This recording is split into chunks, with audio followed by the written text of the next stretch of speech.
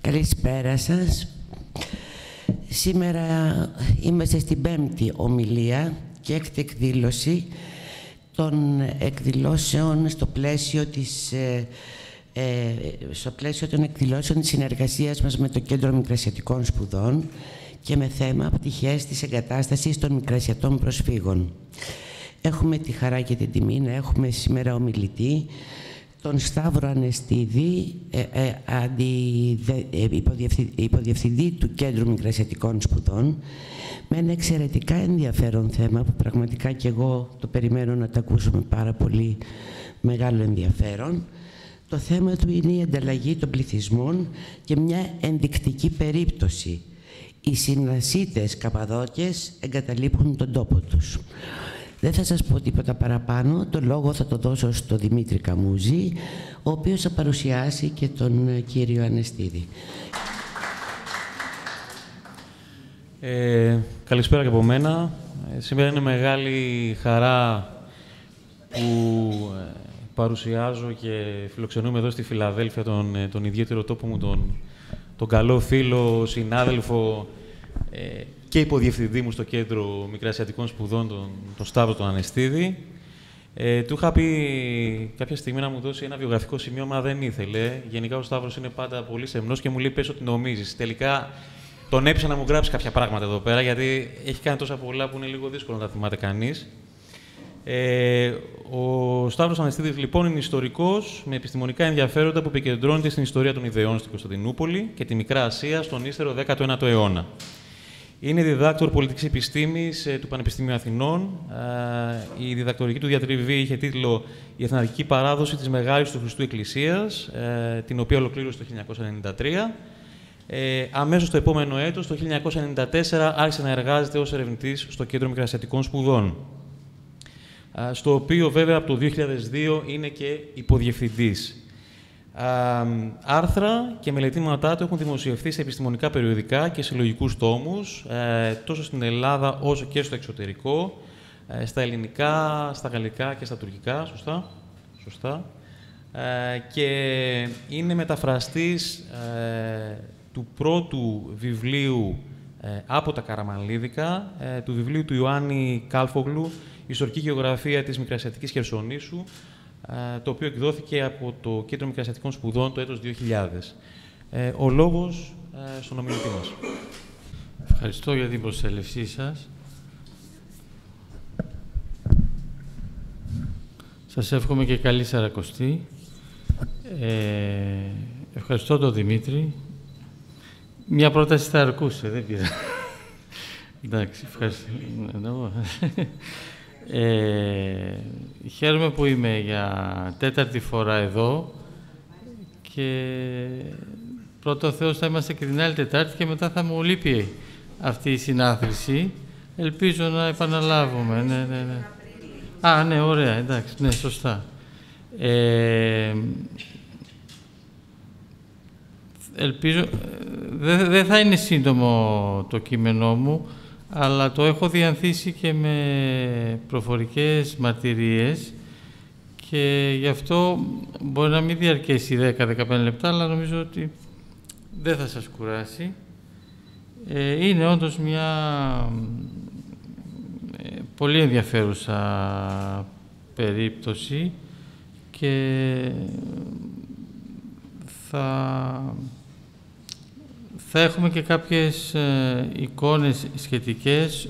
Όλες αυτές προέρχονται βέβαια από την έκδοση που, για την, στην οποία θα αναφερθώ εντός ολίγου. Ε, η Συναστός, όπως, όπως ξέρετε, είναι μια ιδιάζουσα περίπτωση στην Καπαδοκία, γιατί είναι πραγματικά ένας ελληνόφωνος πνευματικός φάρος μέσα σε ένα ευρύτερο ε, χώρο τουρκοφωνίας. Θα κάνω μερικές σύντομες αναφορές ε, για τη συγκρότηση του οικισμού. Η παλιότερη αναφορά για τη Συνασό αναγράφεται σε ένα Οθωμανικό κατάστοιχο του 1476 στο οποίο καταγράφονται ο πληθυσμός και τα φορολογικά έσοδα της περιοχής αμέσως μετά την κατάκτησή της. Η Συνασσός είχε τότε μικρό πληθυσμό χριστιανικό και εδώ βεβαίως είναι και το σχεδιάγραμμα με τις γειτονιές. Είχε μικρό πληθυσμό και τα φορολογικά της έσοδα καρπώνταν τότε ένας τιμαριούχος και ένα μουσουλμανικό τέμενο στη γειτονική πόλη της Ταμισού, κατάσταση που διατηρήθηκε τουλάχιστον έως τα 1580. Στα 1769 φαίνεται ότι υπήρχε ήδη δημογεροντία και στην δεκαετία του 1780 λειτουργούσε σχολείο, αλλά η οικονομική κατάσταση των χριστιανών της Ινασού δεν ήταν ανθυρή. Το φορολογικό άχθος της χριστιανικής κοινότητας έπαυσε με τις μεταρρυθμίσεις περίοδου του Τανζιμάτ. Από την πρώτη στιγμή οι συνασίδες κατάφεραν να εκμεταλλευτούν την αλλαγή στάσεως της κεντρικής Οθωμανικής εξουσίας για να εξασφαλίσουν την μείωση αρχικά και την σταθεροποίηση στη συνέχεια της φορολογικής τους επιβάρυνσης. Αυτό κατέστη δυνατό χάρη στη λειτουργία της Δημογεροντίας, η οποία είχε επιβάλει την ενότητα στο εσωτερικό και εξασφάλιζε την αποτελεσματική εκπροσώπηση των κοινοτικών συμφερόντων τόσο ενώπιον των Οθωμανικών αρχών όσο και του Πατριαρχείου και των άλλων κοινοτήτων. Και επέρχεται, επέρχεται η άνθηση μετά τη μείωση των φορολογικών βαρών το 1840 και ταυτόχρονη αύξηση των εσόδων από αστικές δραστηριότητες στην πόλη σε συνδυασμό με τη μεγαλύτερη ασφάλεια των προσώπων και των περιουσιών δημιουργήθηκαν οι προϋποθέσεις για την αύξηση των δαπανών για την ιδιωτική κατοικία καθώς και για τα δημόσια καταστήματα. Θα σας δείξω μερικές σχετικές εικόνες. Ταυτόχρονα η έντονη δημογραφική ανάπτυξη οδήγησε στην επέκταση του οικισμένου χώρου στον ακατοίκητο έως τότε λόφο του Κάπαλου. Εδώ.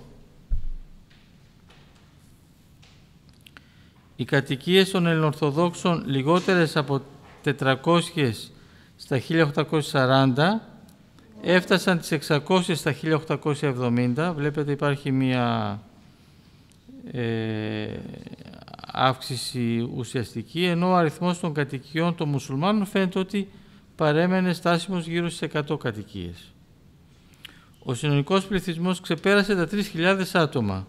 Νέα κτίρια κτίστηκαν για να φιλοξενήσουν τη Δημογεροντία, το Αρεναγωγείο και αργότερα το Παρθεναγωγείο. Οι εκκλησίες ανακαινίστηκαν ή διευρύνθηκαν και χτίστηκε και η περίφημη γέφυρα Μαράσολο στο κέντρο του οικισμού. Βλέπετε τώρα πώς οικοδομείται και φτάνει στα 1910 σε μια ανάπτυξη αστική. Δημιουργείται ένας αστικός ιστός πάλι άποψη αυτής της συνοικίας με το Παρθεναγωγείο και την Εκκλησία των Ταξιαρχών. Όλοι αυτοί που αναγράφονται, οι Ορδανίδης, Λαζόπουλος κτλ. είναι οι προύχοντες της Συνασού. Πάλι εδώ είναι η Εκκλησία των Ταξιαρχών και βλέπετε θα είναι από κάποια εκδήλωση γιατί υπάρχει και εκεί στο Ναυλόγυρο εκκλησίασμα, ναι. Αυτό είναι το περίφημα Ρεναγωγείο. Ο Σεραφείμ Ρίζος, ε, τώρα δεν μπορώ να το διακρίνω, πάντως ήταν μια σημαντική μορφή, ε, δάσκαλος των Γαλλικών στο σχολείο και μάλιστα τους τους μετέφραζε και τα παραμύθια του Άντερσεν. Πρωτοστάτησε μετά στην ίδρυση της Νέας Συνασού, εδώ στην Εύβοια, και έγραψε ένα πολύ ενδιαφέρον και ογκοδέστατο χειρόγραφο με αναφορά στα παιδικά του χρόνια και σε όλη την ζωή στη Συνασό πριν από το 22 το οποίο το εκδώσαμε σε δύο τόμους από το Κέντρο Μεγιστατικών Σπουδών.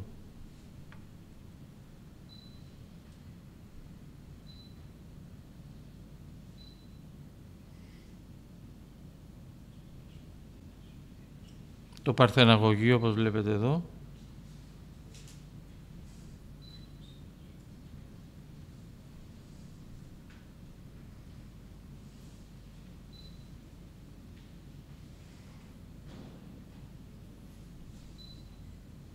το κτίριο της Δημογεροντίας,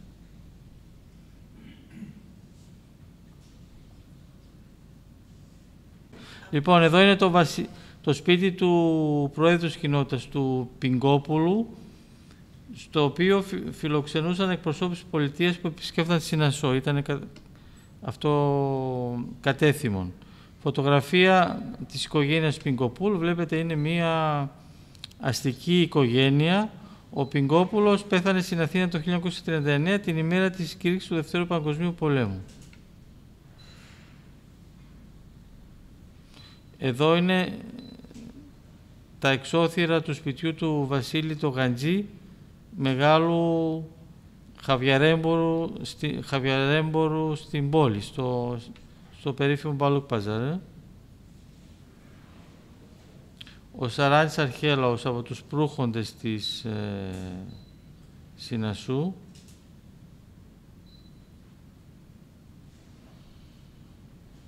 Το Δημαρχείο, Το 1923 και το 1924 εδώ στεγάστηκε προσωρινά η Επιτροπή Ανταλλαγής. Και το αρχοντικό του Σεραφείμ Ρίζου, το οποίο διασώζεται ακόμη.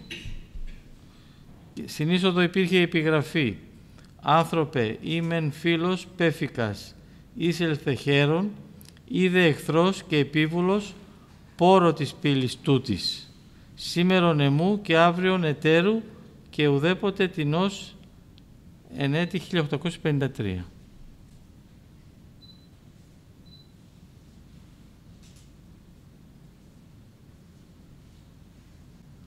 Και η περίφημη γέφυρα του Μαράσογλου. Για τη φυσιογνωμία της Συνασού έχουμε μία μαρτυρία της Αγραίας Αγιουτάντη, στενή συνεργάτηδος της Μέλπος Μελέ, η οποία μαζί με ένα όμιλο συνεργατών του κέντρου επισκέφθηκαν τη Συνασό το 1959 και ε, γράφει τα εξής. Τη Συνασό την ξέραμε από τις πολλές και καλές φωτογραφίες του κυρίου Ρίζου. Μεγάλο και πολιτισμένο μέρος. Πολλά από τα ελληνικά αρχοντόσπιτα διατηρούνται θαυμάσια. Το σπίτι του Σουλτάν Χαράλαμπου, το καλύτερο του χωριού, έγινε σχολείο. Μπήκαμε και το είδαμε και από μέσα.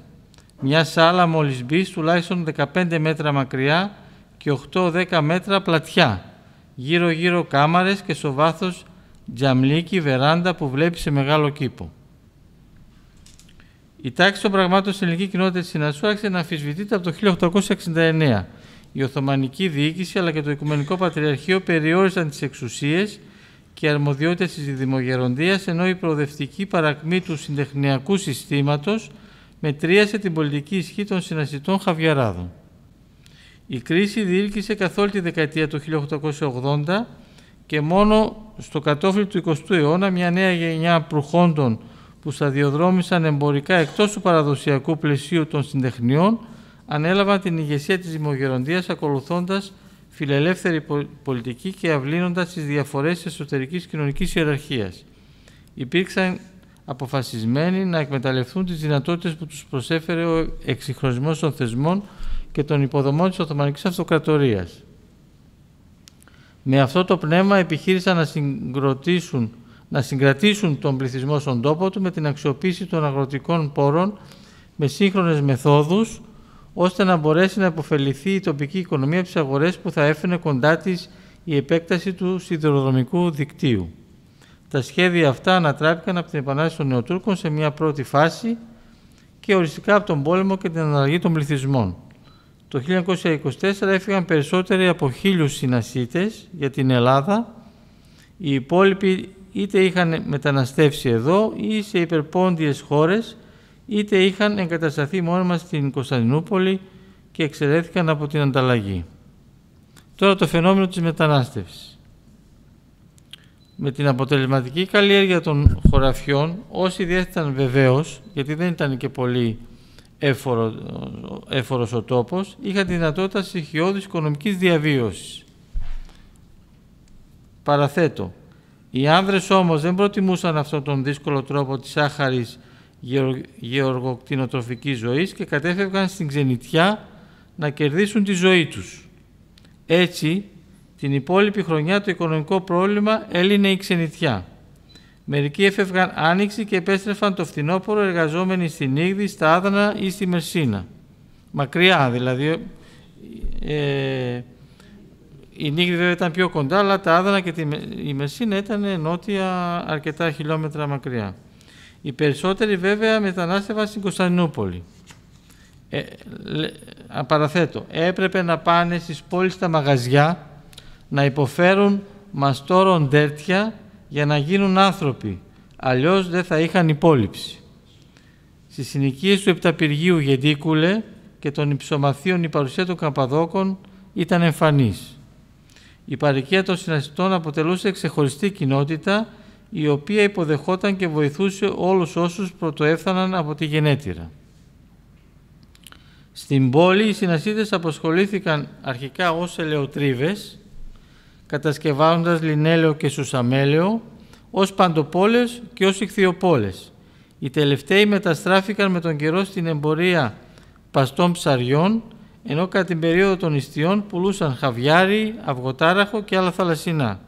Έτσι δημιουργήθηκε η συντεχνία των χαβιαράδων που αποτελείται μόνον από συνασίτες, ενώ αργότερα επιδόθηκαν και στο εμπόριο υφασμάτων και συντροφοδοσία πλοίων. Είχαν εμπορικό δαιμόνιο. Ο εκπατρισμός των συνασιτών διαρκούσε συνήθως έως το 50ο έτος της ηλικίας τους, οπότε έχοντας εξασφαλίσει εισόδημα ανάλογο των αναγκών τους, επέστρεφαν για να καρποθούν τα κέρδη τους. Όμως, συν το χρόνο και παρά την βελτίωση των συγκοινωνιών, όλο και περισσότεροι παρέμεναν μόνιμα στην πόλη, μαζί με τις οικογένειές τους, απαλλαγμένοι από την γάγκρενα των ταξιδιών. Σε αυτό το γεγονός άλλωστε οφείλεται και η πληθυσμιακή εφέμαξη της Συνασού από τα τέλη του 19ου αιώνα έως και την καταστροφή. Παραθέτω από το χειρόγραφο του Σεραφείμ Ρίζου μία πολύ ενδιαφέρουσα αναφορά για το φαινόμενο της ξενιτιάς. Στα παλιά τα χρόνια, ο συνασίτης πόσο χρονού ξενιτεύουνταν δεν το ξέρουμε. Θα ήταν ίσως και 20 χρονών, μια και τα ταξίδια ήσαν πολύ δύσκολα, επίπονα και επικίνδυνα. Στα χρόνια τα δικά μας, ένα αγόρι μόλις γίνονταν 13-14 χρόνων και τελείωνε το δημοτικό μας σχολείο, αν ήταν πολύ φτωχό νωρίτερα, παγένισκεν στην πόλ να γαζαντείς παράδια να γεννεί άνθρωπος. Ήταν συνήθεια στα χρόνια μας ένα αγόρι που θα πήγαινε στην πόλη να πάγει την παραμονή της αναχώρησής του στο σπίτι του Αναστασίου του δασκάλου και να φιλήσει το χέρι πηγαίνοντας και ένα δώρο, ένα πανέρ μήλα ή απίδια. Και ο ενορίτης ιερέας πήγαινε από βραδείς την παραμονή της αναχώρησης στο σπίτι του Πολίτ και έψελνε στο εικονοστάσι παρουσία της μητέρας του παιδιού τις καθορισμένες ευχές του ταξιδιού. Αυτό όμως γίνονταν στα ζεγκίνια τα σπίτια, τα πλούσια δηλαδή. Τα φτωχά τα παιδιά ψάλισκέντας στον κάπαλο ο ιερέας στην πλατεία όπου θα έμπαινε το παιδί στα μάξι. Εάν ο πατέρας του παιδιού ήταν στο χωριό, το έπαιρνε ο ίδιος ο πατέρας και το πήγαινε.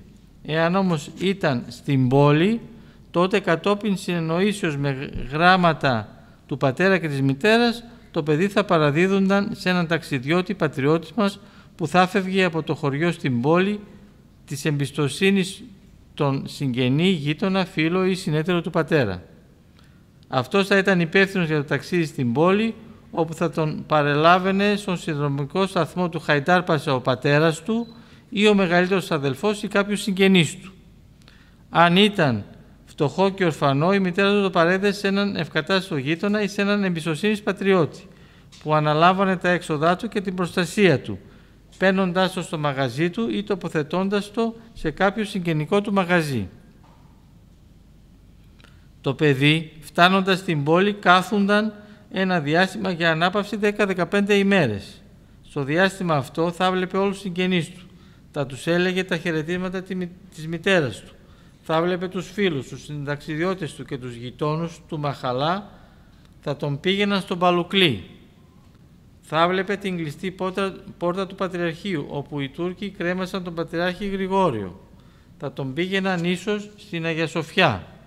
Θα τον πήγαιναν από το τούνελ ή από τα σκαλάκια, τον ανηφορικό δρόμο από τον Γαλατά προς το Σταυροδρόμι πέρα, όπου θα έβλεπε τη μεγάλη σιδερένια θύρα της Ρούσικης Πρεσβείας και τη Ρούσικη σημαία Παντιέρα.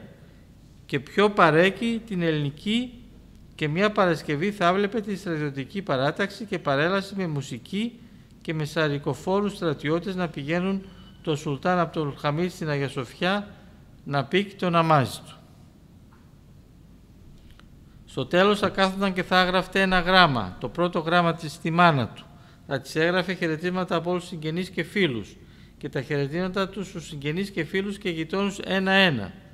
Θα της έγραφε ακόμη πως είναι καλά και να μην στενοχωριέται και ότι το χωριό es άλλον χάρ, δηλαδή το χωριό έχει άλλη χάρη. Μόλις περνούσαν τα μουσαφιρλίκια, πρόβαλε το ζήτημα τηςοποθέτησής του σε ένα μαγαζί, πατριωτικό εννοείται, εκτός να ήταν να πάει σε ανώτερο σχολείο. Εάν ο πατέρας του παιδιού ήταν μαγαζάτορας, θα τον κρατούσε. Εάν ο πατέρας του παιδιού ήταν συνέτερος, θα έπαιρνε στο μαγαζί ως τσιράκ. Ή ο πατέρας του θα τον τοποθετούσε σε ξένο άλλο γνωστό μαγαζί να φάει ξένο ψωμί, ξένο φαΐ, να μάθει την αξία του γονιού, να μάθει πώς κερδίζονται τα χρήματα.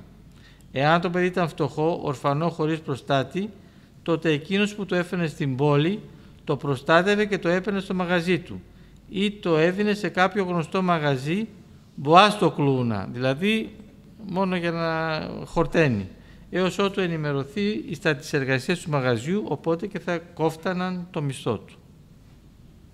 Οι συνασίτες αποτελούν υπόδειγμα οργανωμένης εξόδου. Για τον σκοπό αυτό ιδρύονται τον Ιούνιο του 1924. Υπενθυμίζω ότι η Σύμβαση Περιανταλλαγής είχε υπογραφεί στις 3 Ιουλίου του 1923.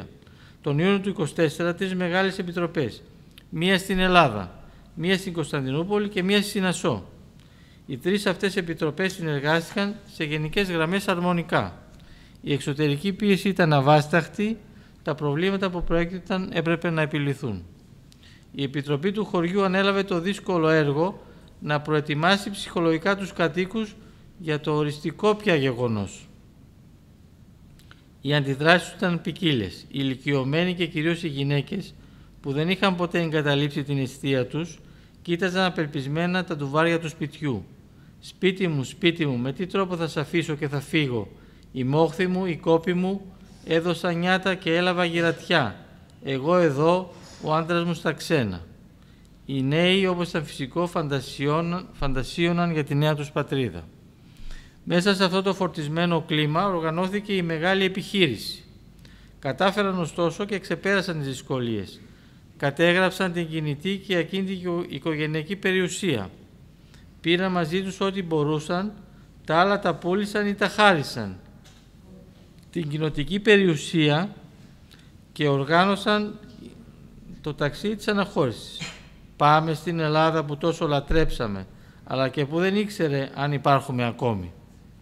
Έστειλαν ένα τηλεγράφημα στους πατριώτες τους στην πόλη σήμερα 2 Οκτωβρίου 1924 με μεγάλη λύπη και συγκίνηση με μετακρισμένα μάτια αφήνοντας την αγαπητή πατρίδα μας αναχωρούμε στο άγνωστον, ο Θεός να μας κατεβοδώσει. Οι πλούσιοι έφυγαν μέσω της πόλης, της Κωνσταντινούπολης δηλαδή. Οι φτωχοί κατηφόρησαν προς Μερσίνα, με αραμπάδες και τρένα και από εκεί με πλοίο για τον Πειραιά. Πολλά έχουν γραφτεί για αυτό το ταξίδι. Μεγάλη ήταν η αγωνία των συναστών για τον τόπο εγκατάσταση στην Ελλάδα. Η Επιτροπή του χωριού βρισκόταν σε συνεχή επαφή με την Επιτροπή της Ελλάδος και υπήρχε μεγάλη αλληλογραφία. Προτάθηκαν διάφοροι τόποι. Πάργα, Φιλιάτες, Κρήτη, Χαλκιδική. Καταλήγουν στην περιοχή της Εύβοιας όπου εκαθίσανται πολλές οικογένειες. Οι υπόλοιπες σκορπίστηκαν σε άλλα μέρη και κυρίως στον Πειραιά. Κύρια πρόσωπα της προετοιμασίας του ταξιδιού in situ, ο Σεραφείμ Ρίζος με τον αδελφό του Ρίζο Ρίζο. Γνώριζαν ότι δεν επρόκειται να ξαναγυρίσουν. Το πάλι με χρόνια με καιρούς δεν τους συγκινούσε. Ήξεραν επίσης ότι το χωριό τους αποτελούσε μοναδικό δείγμα αστικού χώρου στην καρδιά της Καπαδοκικής γης. ζήτησαν με επιμονή να συμπεριλάβουν στα έξοδα της προετοιμασίας και ένα ποσό για τη φωτογράφηση του χωριού. Τελικά, τελικά εγκρίθηκε ένα μικρό ποσό. Έτσι κάλεσαν δύο ξαδέλφια από το κάστρο, το Προκόπη δηλαδή, τους Αναστάσιο Πανταζίδη και Ισαάκ Πανταζή, παιδιά εμποροτραπεζιτών που διέθεταν φωτογραφική μηχανή. Η φωτογράφηση έπρεπε να γίνει σε σύντομο χρονικό διάστημα από 1η μέχρι τέλος Ιουλίου του 1924. Ετοίμασαν το πλάνο της φωτογράφησης που είχε ως εξής. Πρώτον, τα τοπία από τους πέντε μαχαλάδες. Δεύτερον, τις εκκλησίες Κωνσταντίνου και Ελένης, ταξιαρχών της Μονής του Αγίου Νικολάου, καθώς επίσης και τα ξοκλήσια. Τρίτον, τα σχολεία με τους δασκάλους, τους μαθητές και τις μαθήτριες. Το Δημογεροντίο, διάφορα σπίτια προχόντων, θαυμαστά για την αρχιτεκτονική τους, τις γυναικείες και ανδρικές φορεσιές, το γυναικείο και ανδρικό χορό, τις βρύσες, το καζίνο. Καζίνο είναι ένα χώρο εστίασης, δεν εννοούν αυτό που εννοούμε σήμερα. Το παζάρι, τη γέφυρα Μαράσογλου, το χάνι Φεγγαρίνα και ό,τι άλλο θα προέκυπτε από την περιδιάβαση του χώρου. Μέσα στο μήνα άλλοτε πεζή και άλλοτε καβάλα έφεραν σε πέρα στο έργο τους. Ο ίδιος ο Σεραφείμ Ρίζος παρέλαβε τις φωτογραφικές πλάκες. Ο ίδιος και η οικογένειά του και μερικές άλλες οικογένειες αναχώρησαν μέσω Κωνσταντινούπολεως. Έτσι κατάφερε και παρέδωσε τις πλάκες στην εκεί αντιπροσωπεία με την υπόσχεση ότι σύντομα θα εκτυπωθούν. Ο γιατρός και συγγραφέας μιας μονογραφίας για τη Συνασό στα 1899, ο Λόγιος Ιωάννης Αρχέλαος, ανέλαβε τον σχολιασμό των φωτογραφιών και στο, το ιστορικό μέρος της έκδοσης. Ο Σεραφείμ Ριος έφυγε για την Ελλάδα, όπου όπως λέει ο ίδιος, μάρπαξε το ρέμα της προσφυγιάς. Μια μέρα στους Ποδαράδες, τη σημερινή Νέα Ιωνία, έφτασε το δέμα με το Λεύκομα. Τίτλος του «Η Συνασός, το διαμάντι της Ανατολής». 2 Οκτωβρίου 1924, ημέρα εξόδου. Για την επιτυχία του έργου Εκτός από τον Σεραφείμ Ρίζο και τον γιατρό Αρχέλαο συνεργάστηκαν οι Σοφρονιάδης για τα δημοτικά τραγούδια, Σταυρόπουλος, Χατζιωσήφ, Κόκκινος, Ισαακίδης για τις εκκλησίες, τα μοναστήρια και τα ξοκλήσια. Το Λεύκομα περιέχει 82 φωτογραφίες της Συνασού, 8 του Προκοπίου, 3 της γειτονικής Τζαλέλας και 13 του, και 13 του Γκιόρεμε. Καταγράφονται 34 τραγούδια, τα περισσότερα με νότες. Το κυρίως κείμενο, 79 σελίδων, είναι ένα πλήρες ιστορικό συνασού έως την έξοδο του 24. Στον κολοφόνα του βιβλίου αναγράφεται «Το παρόν έργο είναι καμωμένο κατά το σχέδιο του φούρνου του Ναστρατίν Χότζα. Έχει μια κορδέλα που λύνεται και ανοίγει το λεύκομα. Όποιος θέλει μπορεί να βγάλει από μέσα ό,τι δεν του αρέσει και να προσθέσει ό,τι θέλει στις οικογενειακές σελίδες και αλλού και έτσι δεν έχει να δυσαρεστηθεί καθόλου. Τυπώθηκαν μόνο 100 αντίτυπα πολυτελείας και ολίγα απλά. Ευτυχώς έχουμε ένα πολύτιμο αντίτυπο στο κέντρο. Το 1928 έγινε μια ανατύπωση μόνο του κειμένου χωρίς τις φωτογραφίες. Αντέχετε ακόμα; Ωραία. Θα διαβάσω μία χαρακτηριστική μαρτυρία για τη στιγμή της εξόδου. Είναι πάλι του Κώστα Ρίζου από την οικογένεια. Ήταν Αύγουστος του 1924, όταν έφτασε και σε εμάς το φοβερό μήνυμα της ανταλλαγής. Θρήνος, κλαθμός και ο δυρμός απ' άκρη σ' άκρη. Μόλις ήρθε στη Δημογεροντία η διαταγή της τουρκικής κυβερνήσεως, που μιλούσε για τον ξεριζωμό μας, χωρίς καν να ερωτηθούμε, σαν να είμαστε αγέλες προβάτων. Έσφιξαν τον πόνο τους, άφησαν καθένας τα προσωπικά τους πάθη και μίση. Σκέφτηκαν και αποφάσισαν να ετοιμαστούν και να προσπαθήσουν να περισσώσουν τουλάχιστον την κινητή περιουσία της κοινότητας, των εκκλησιών και των άλλων ιδρυμάτων και τις περιουσίες των κατοίκων. Έτσι σχηματίστηκε η Επιτροπή Ανταλλαγής υπό την προεδρία του αδελφού μου Ρίζου Ρίζου, η οποία συνοήθηκε αμέσως με τους συνασύρτες της πόλης, εκείνους που διαχειρίζονταν την εκεί περιουσία της πατρίδας μας. Η Επιτροπή της Ανταλλαγής έκανε και κάτι άλλο. Φορολόγησε τους πιο πλούσιους συνασίτες που βρίσκονταν στο χωριό και με τα χρήματα αυτά ενίσχυσε τους απορότερους που δεν είχαν τα μέσα να πληρώσουν τα οδηπορικά τους. Κάθε οικογένεια μάζευε ό,τι πολύτιμο είχε και ό,τι μπορούσε να σώσει και τα έκανε μπάλες. Τα άλλα, τα ζώα τους, τα έπιπλα τους, τα, χωριά, τα χωράφια τους τα πουλούσαν στους Τούρκους που τα έπαιρναν για τίποτα. Δεν αφήσαμε τίποτα σχεδόν από τα κοινατικά μας που να μην πάρουμε. Τα ιερά σκεύη της Εκκλησίας, το σχολείο μας, τη βιβλιοθήκη, που είχε πολλά και ανεκτήμητα συγγράμματα, τη βιβλιοθήκη της Μονής του Αγίου Νικολάου, συγγύλια πατριαρχών και μητροπολιτών, φυρμάγια των Σουλτάνων σε ιδιότητες στην κοινότητα, ακόμα και το χώρισμα του Ιερού Βήματος των Εκκλησιών. Όλα τα μαζέψαμε και τα αμπαλάραμε προσεκτικά και άρχισε η έξοδος. Τέλη Σεπτεμβρίου με αρχές Οκτωβρίου αποχαιρετήσαμε για πάντα τη φιλτάτη μας πατρίδα. Οχτώ μέρες πριν από μας έφυγαν τα φορτία μας. Ήταν 60-70 καμήλες με τα κοινοτικά μας κοιμήλια και με πολλά ατομικά, τα πιο μεγάλα και βαριά. Έφυγαν πρώτα τα φορτία, γιατί θα αργούσαν στον δρόμο περισσότερα από μας.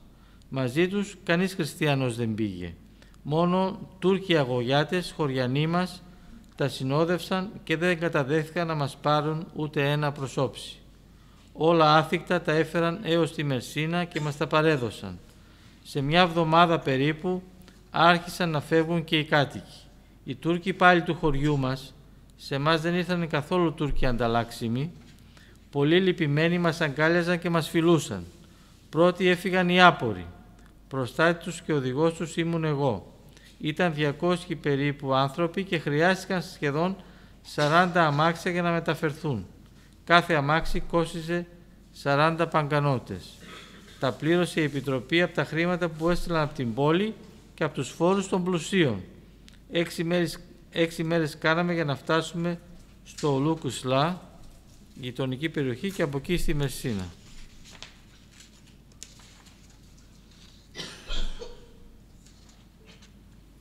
Να συνεχίσω. Πιο πίσω, τρεις μέρες μετά από μας, έφυγαν οι πλούσιοι με τα μέλη της Επιτροπής.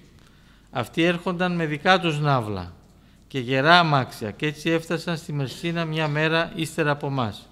Στη Μερσίνα διανυκτέρευσαν οι άποροι στον αυλόγυρο της Εκκλησίας, αλίμονο. Τη νύχτα έπιασε μια βροχή, σωστός κατακλυσμός. Οι άνθρωποι μου σκέφτηκαν ως το κόκαλο. Τα πράγματα τους έπαθαν ζημιές μεγάλες. Το πρωί βρήκαμε τα πολλά ένα εργοστάσιο ποτοποιίας. Τους μάζεψα όλους. Πήραμε και τα πράγματά τους και τους πήγα εκεί να στεγνώσουν. Εκεί, σε αυτό το εργοστάσιο, καθίσαμε 14 μέρες περιμένοντας τα κρατικά βαπόρια να μας παραλάβουν. Γιατί βλέπεις, δεν ήμασταν μόνο εμείς που περιμέναμε, βρήκαμε εκεί χριστιανούς από όλα τα χωριά και από τα βάθη της Ασίας ακόμη, που περίμεναν να έρθει και η σειρά τους για να φύγουν στην Ελλάδα. Τέλος πάντων, μπήκαν όλοι οι άποροι συνασίτες σε ένα βαπόρι κρατικό που θα μας έφερνε δωρεάν μαζί με τα φορτία μας στον Πειραιά. Αρχηγό τους, αρχηγός ήμουν πάντα εγώ ταξιδεύαμε 10 έως 12 ημέρες. Το πώς περάσαμε αυτό το διάστημα δεν περιγράφεται. Έτσι με πολλά βάσανα φτάσαμε πια στον Πειραιά. Τα φορτία μας μείνανε στο λιμάνι, εμάς μας πήγαν πρώτα στον Άι Γιώργη στη Κερατσίνη για απολύμαση. 15 μέρες καθίσαμε εκεί. Και τώρα που πατήσαμε για πρώτη φορά τη νέα μας γη, στη νέα πατρίδα, φάνηκε ακόμη μια φορά η εγκληματική αδιαφορία του Σωματείου των Συναστών, των Συναστών Πειραιός η μεγάλη αυτή επιτροπή όλο και συνεδρίαζε, όλο και αποφάσισε και τίποτε πρακτικό και ωφέλιμο δεν γινόταν.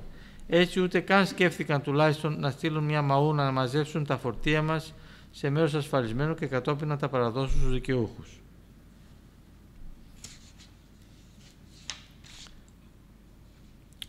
Δεν θα σας κουράσω με λεπτομέρειες, πάντως εν τέλει ε, διασκορπίστηκαν κάποιοι στην Πάργα, στην Κασοριά, στη Σέρεση, Δράμα, αλλά ο οικισμός της, της Νέας Συνασού δημιουργήθηκε στην Εύβοια, στο, στο χώρο και μέχρι σήμερα ονομάζεται Νέα, Νέας Συνασός.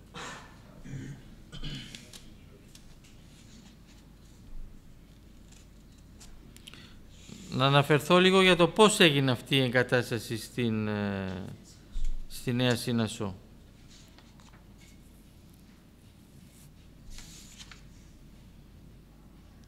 Μια επιτροπή που είχε συσταθεί από πατριώτες του παλιού χωριού και από εγκατεστημένους στην πόλη και στον Πειραιά είχε αναλάβει την εξέβρεση της καλύτερης γωνιάς της Ελλάδος για να τη βαπτίσουν με το όνομα της Νέας Σύνασου.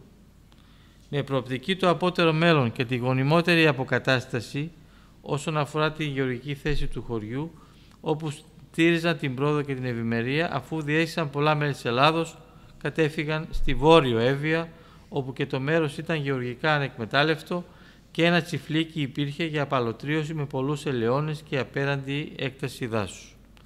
Το τσιφλίκι ανήκει αυτό στον Αθανάσιο Πετσάλη με πυρεξούσιό του και το ποτηρητή τον επιστάτη Γιώργιο Κατέβα που επέβλεπε και εσόδευε τα προϊόντα του κτήματος από τους, από τους 30 κολίγους που ήσαν τα εργατικά χέρια του τσιφλικιού.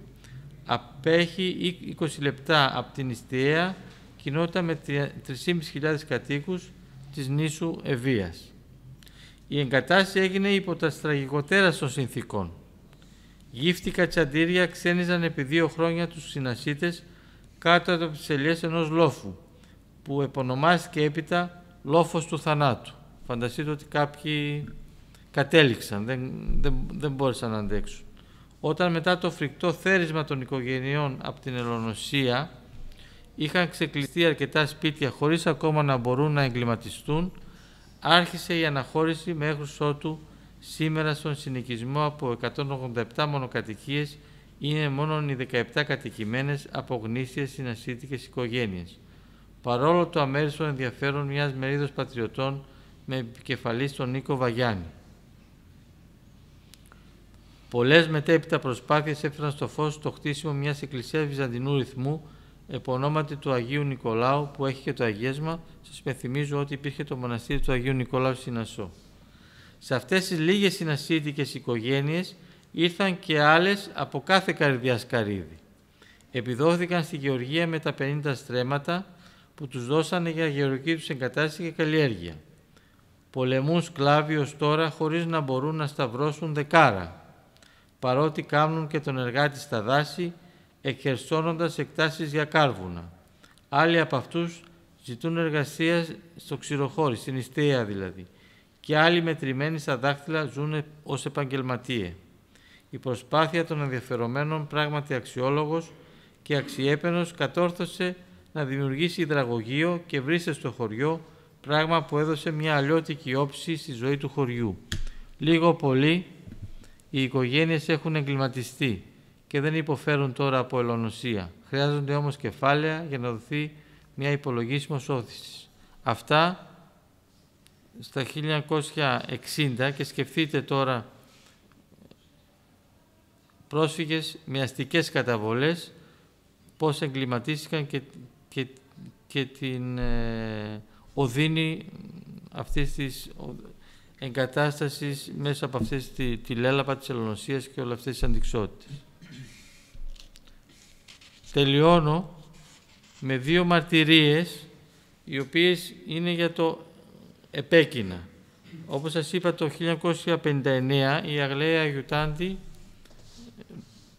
ε, προείσταται μιας εκδρομής αφού όσων μελέτησαν και κατέγραψαν τις μαρτυρίες σκέφτηκαν ότι θα έπρεπε να πάνε in situ, να δούνε τους τόπους που μελέτησαν ε, και να τους καταγράψουν και να τους φωτογραφίσουν. Στο ταξίδι αυτό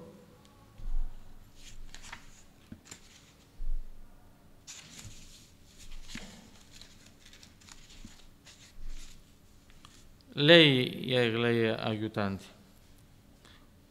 Όταν μαζευτήκαμε και πάλι στο Πούλμαν για να στρέψουμε στο Προκόπη, βρήκαμε το ζεύγος Βαμβακίδη, εξελινισμένος πα, Παμούκογλου, βαθιά συγκινημένο. Ο Τούρκος που κατοίκησε στο σπίτι του Βαμβακίδη, του Παμούκογλου δηλαδή, είχε κρατήσει στον τοίχο του, του οντάτου, τη φωτογραφία του Έλληνα ιδιοκτήτη, δηλαδή του πατέρα Παμούκογλου.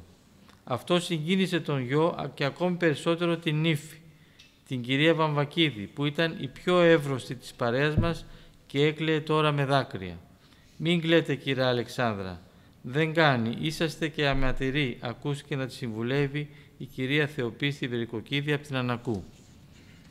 Και η μαρτυρία του Τσαλίκογλου, στενούς συνεργάτη της Μέλπορ Μελέ, τον οποίο, ο οποίος και ονομάζεται και ένας από τους πατέρες του κέντρου, μαζί με τον Χρήστο Τουργούτη.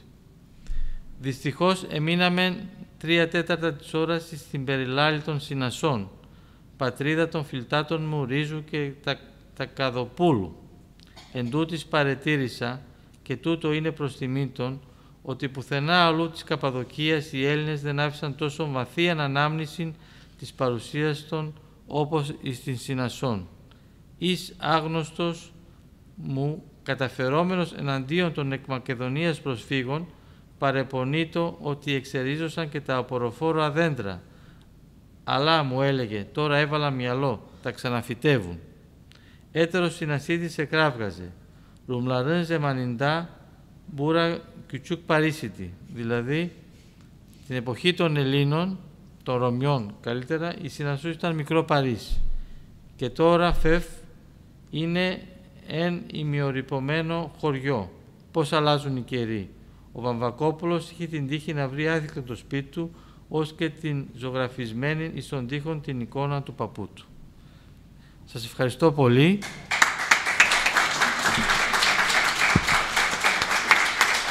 Νομίζω δεν σας κούρασα, γιατί οι μαρτυρίες θεώρησα, θεωρήσαμε όλοι μας ότι οι ομιλίες αυτές, επειδή εδώ είναι η Νέα Φιλαδέλφια, απευθυνόμαστε σε ένα προσφυγικό κόσμο δεύτερης, τρίτης, τέταρτης γενιάς, οι οποίοι έχουν κατά νου κάπως το χάρτη της Μικράς Ασίας.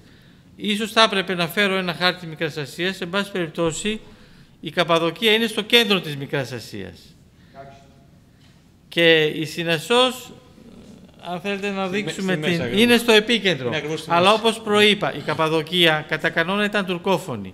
Ήταν οι χριστιανοί Ορθόδοξοι, οι οποίοι για κάποιο λόγο απόλεσαν τη μητρική τους γλώσσα, έγιναν τουρκόφωνοι και το, η άλλη ιδιάουσα περίπτωση είναι ότι ήταν τουρκόφωνοι αλλά δεν έγραφαν τα τουρκικά με, την, με, τον, με το οθωμανικό αλφάβητο, επειδή το οθωμανικό αλφάβητο ήταν δύσκολο, υιοθέτησαν τα ελληνικό αλφάβητο για να εκφραστούν στα τουρκικά στα οθωμανικά. Και έχουμε όλη αυτή την πολύ σημαντική γραμματεία που είναι η Καραμαλίδικη Γραφή και ε, ε, εξέδωσαν βιβλία στην Καραμαλίδικη Γραφή. Αλλά αυτό είναι ένα άλλο κεφάλαιο. Είχαμε συζητήσει αν θα έκανα μια ομιλία γι' αυτό, αλλά είπαμε να παρουσιάσουμε τη Σύνασο. Ναι, ρώτησε η κυρία, δηλαδή αναφερθήκαμε στην ασύνδεση των οποίων ο ξεριζωμός ήταν κατά κάποιο τρόπο ειρηνικός. Και ρωτάει η κυρία, στην περιοχή δεν υπήρχαν συνθήκες πολέμου. Ε, όχι. Γι' αυτό και εμείς στο κέντρο μεθοδολογικά αυτό το περίφημο, ε, περίφημο λέω, το τραγικό γεγονός της εξόδου το κατατάσσουμε ε, σε τρία momentum. Το ένα είναι, και γεωγραφικά τουλάχιστον, το ένα είναι τα δυτικά παράλια, όπως ξέρετε εκεί με επίκεντρο της Μίνη και όλα αυτά είναι συνθήκες πολέμου, όπου εκεί έφυγαν, ε, εξοντώθηκαν και αυτοί που έφυγαν, έφυγαν υπό συνθήκες πολέμου, όσοι δεν σφαγιάστηκαν. Το άλλο τμήμα είναι ο Πόντος, όπου και εκεί γνωρίζετε ότι υπήρχαν συνθήκες πολέμου και βεβαίως το τρίτο τμήμα είναι η κεντρική Μικρά Ασία με την ε, Καπαδοκία αλλά και νοτιότερα, νοτιο, πιο νοτιοανατολικά όπου κατά κανόνα η, η έξοδος ήταν ε, ας πούμε ομαλή και ειρηνική. Γι' αυτό και όπως ακούσατε μπόρεσαν να μεταφέρουν και ε, κινητή περιουσία και όλα αυτά τα σκεύη και τα λοιπά. δεν το νιώσαν εκεί πέρα δηλαδή. Όχι, στις μαρτυρίες, στις μαρτυρίες, αν τρέξετε σε αυτούς τους τόμους εξόδου, στις μαρτυρίες που προέρχονται από κατοίκους της Καπαδοκίας και αυτής της περιοχής, λένε ότι κάποια στιγμή εξαπίνης καταλάβανε ότι κάτι συμβαίνει. Κάποιοι δεν είχαν υποψιαστεί καν ότι θα φύγουν και ενημερώθηκαν όταν έγινε η σύμβαση της ανταλλαγής και καταλάβουν ότι πρέπει να φύγουν. Δεν είχαν την, ε, ε, καταλαβαίνετε σε μια εποχή όπου δεν υπήρχε αυτή η ενημέρωση. Και, ναι, ναι. Από τη κεντρική Τουρκία, ας πούμε, και πιο ανατολικά, νότιο-ανατολικά, από όλες τις περιοχές εκεί δεν καταλάβαν από πόλεμο. Όχι, ακριβώς. Ναι. Κυρία Χώρα. Ε, μήπως όμως είχαν προηγηθεί κάποιες επελάσεις ε, των ε, νεότουρκων επιθέσεις και των κεμαλιστών πριν αναλάβει ο Κεμάλ την ε, εξουσία και παράλληλα και πολλές ληστρικές επιθέσεις επειδή ήταν και πλούσιο το μέρος και είχαν και μεγάλο πιός εκεί πέρα και νομίζω ότι κατά καιρούς δεχόντουσαν κάποια... Τσεκέδες. Ναι. Τσέπες, ναι. ναι. Αλλά αυτά ήταν σποραδικά. Σποραδικά, δεν ήταν οργανωμένα, αλλά στοχεύαν στην περιουσία περισσότερο Ναι, ναι, ναι. που είχαν. Δεν ήταν ένας μαζικός διωγμός όπως Δημιουργούσε έγινε. ένα φόβο, βέβαια αυτοί ε, ε, ε, αμυνόντουσαν, αλλά δεχόντουσαν τέτοια. τέτοια. Ναι. Αλλά αυτό δεν ήταν Ε, τόσο έντονο για να τους ε, δημιουργήσει την αίσθηση της ανασφάλειας ότι πρέπει να φύγουν, καταλάβατε. Πάντως η Νασό σήμερα ε, διατηρεί τα κωδικά της και τη...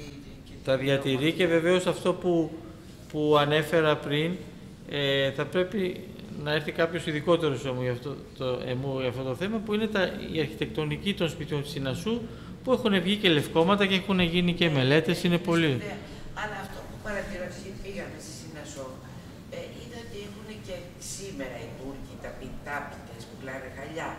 Και δεν αναφέρθηκε καθόλου στις ασχολίες των παλαιών κατοίκων η ταπιτουργία. Ε, δηλαδή ακούσαμε ότι ήταν αλλή- ότι ήταν Χαβιαρέμπο. εμπόροι χαβιάρια λόγω της περιοχής.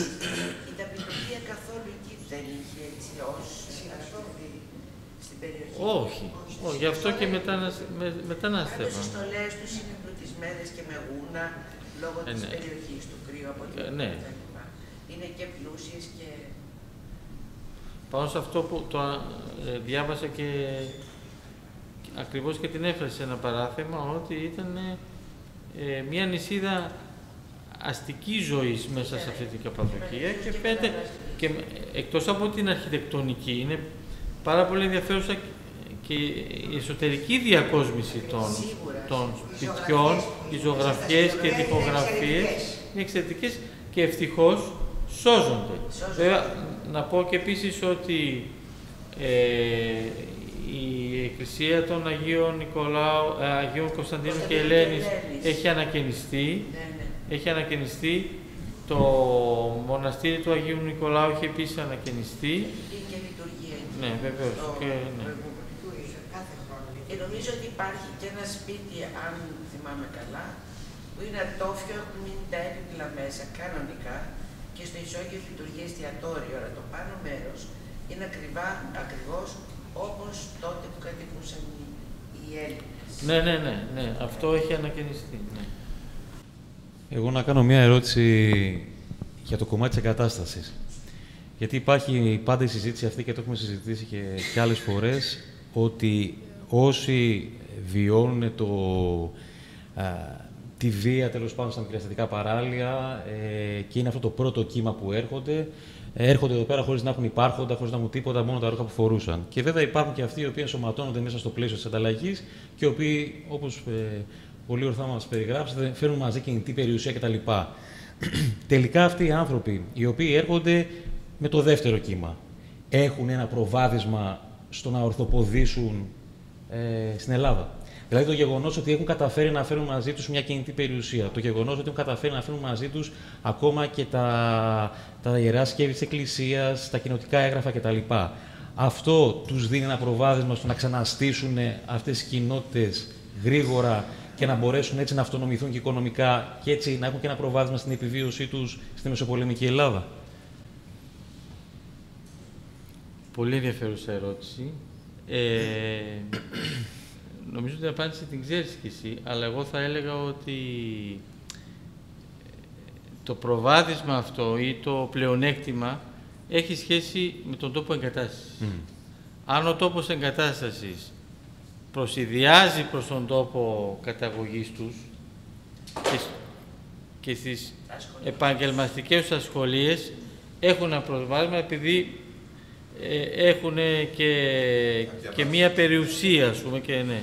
Αν όχι, γιατί το μείζον, εντάξει, έχουν τα, τα, τα ιερά σκεύη, όλη αυτή την εκείνη περιουσία που αναπαράγει, ενδεχομένως αυτό μπορεί να είναι καλό ε, γιατί μεταφέρουν κάποια πράγματα που δεν τα Ταυτότητας. χάσαν εντελώς, αλλά αφε, αφετέρου αν ας πούμε είναι αγρότες και έχουν εγκατασταθεί σε μία ε, παραθαλάσσια περιοχή όπου το κλίμα και ο τρόπος ε, είναι εντελώς ξένος, νομίζω οι, οι, Συγγνώμη. οι δυσκολίες παραμένουν και, νομίζω, και είναι και Η περιοχή νέα, της η νέα Συνασσού. συνασώση τους τέριαζε. Δεν τους τέριαζε. Δεν τους τέριαζε. Δηλαδή και από τις περιγραφές φαίνεται ότι δεν τους τέριαζε. Η νέα συνασό, κα- αν κατάλαβα καλά, είπατε ότι τελευταία έχουν μείνει πολύ λίγα σπίτια από κατοίκους συνασό. Ε, τι, πώς, πώς ακριβώς, ε, τι εξέλιξη είχε η νέα συνασό, δηλαδή πήγανε κι άλλοι, νομίζω είπατε ότι πήγαν κι Ναι, από ναι, άλλες πήγανε περιοχές. και άλλοι και κάποιοι προφανώς Κάποιοι όταν πόδια, ορθοπόδησαν, πόδια, ναι, ναι. ναι, ναι, κα- κάποιοι ορθοπόδησαν και φύγανε, εγκατέλειψαν. Καταλάβατε; φύγανε από εκεί. Ναι, ναι. Ε, Αυτή τη στιγμή, Με αποτέλεσμα να είναι λίγα τα σπίτια. ναι, των, Συνασσόντων. των, ο, ας πούμε, των γνησίων συνασιτών, παραμένει ακόμα η οικογένεια Ρίζου εκεί όμως. Παραμένει η οικογένεια Ρίζου και Παραμένει, είναι- παραμένει. η οικογένεια Ρίζου, αυτή που, Α, ναι, α. ναι, ναι, παραμένει. Κάποιες άλλες ερωτήσεις, παρατηρήσεις; Λοιπόν, Ευχαριστούμε, Ευχαριστούμε πάρα, πάρα πολύ. πολύ. Να είστε καλά.